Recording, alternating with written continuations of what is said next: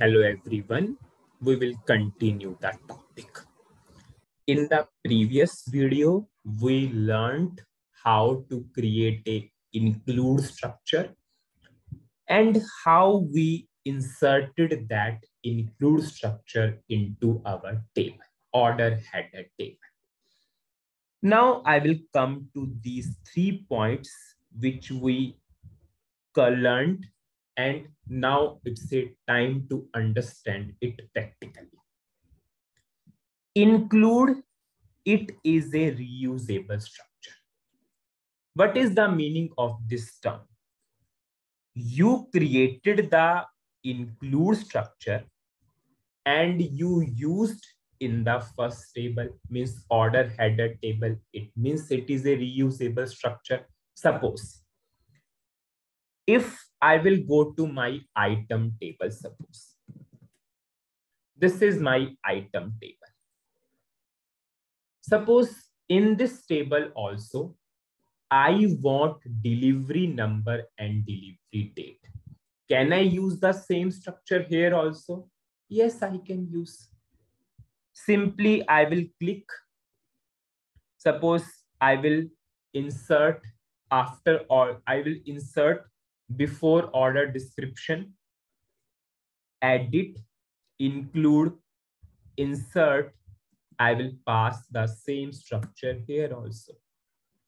And you can see same to same columns, our delivery number and delivery date are in our item table also. So it means include is a reusable structure you will create only once and you can use it at several places. Now, we'll go for second point. We can insert the include structure at any point. We will understand this point. Suppose I will go to order header table. Now, in this case, what we did, we inserted our include structure after order date. So if suppose requirement is I want delivery number and delivery date, I'll say suppose after payment mode. Can I do the same? Yes, I can do the same. I'll simply suppose removing this include structure from here. I will put my cursor on payment mode. I'll put my cursor on total amount. Suppose because I want to now, I want now delivery number and delivery date after payment mode. So I'll put the cursor on total amount, edit, include, insert. If I'm inserting and if I'm displaying my particular uh, I'll just put the cursor again. Sorry, I think I put at the wrong place. I will delete this and I will insert again. I'm activating my table first. I'll put the cursor on total amount column. Before that, I want delivery number and delivery date. Edit, include, insert and I put my structure. And you can see previously our include structure was before payment mode. Now it is before total amount now. If I'm activating that table and I am displaying that table, now you can see our delivery number and delivery date is after payment mode. Previously, it was after order date. So you can insert the include structure at any point. At any point, you can insert the include structure. Now, we'll go for third point. It is applicable to customer specific table. And this point is already covered it is applicable to customer specific and we added the include structure and that table name starts with Z it means it is applicable to customer specific table. Now we will see the vice versa. Is it possible in SAP tables? Suppose I'll go for any SAP table. Suppose VBAK.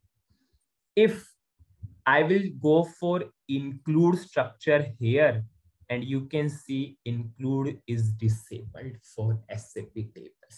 In the next video, I will go for whole explanation why include structure is not possible for SAP table. But just as of now, you can never go for include in SAP tables. Include structure is only, only applicable for SAP specific tables. Now, we will move on to our next type of structure. And our next type of structure is our append structure. How to create a append structure. Now, I will just make it what the requirement is. I'll just firstly put my include structure at the desired location. What was the requirement? It was after order date. Now we will create a append structure. How to create a append structure? I will go to my table, order header table, and there is a option append structure. I'll click on the append structure.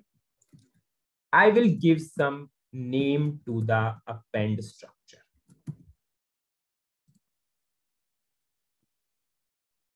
I will go for enter. I will give some name to the append structure. Now, what the exercise is, you have to add delivery location to the table using append structure. It means in our this append structure, we have to take a column delivery location and what is the data element for delivery location what I created I'll pass that data element. And this is the data element for delivery location. Enter.